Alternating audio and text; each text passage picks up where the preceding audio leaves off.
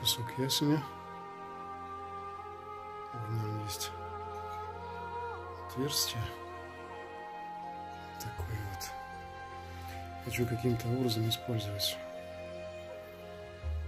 чтобы это осталось естественно. Конечно, форма обрежется в этой вазе, этого округлости не будет, но потом все обшлифуется.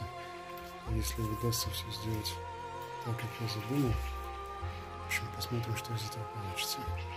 Вперед, с Богом.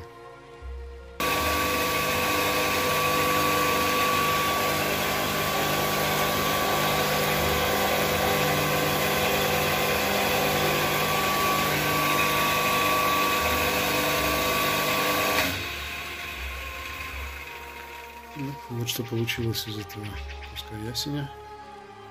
Такая будет вазочка. Немножко не то, что я задумывал. Походу пришлось дорабатывать, но все-таки что-то в ней есть. Но чей-то вкус все равно как бы найдется. Теперь остается только снять ее, отпилить полностью. Ваза готова практически.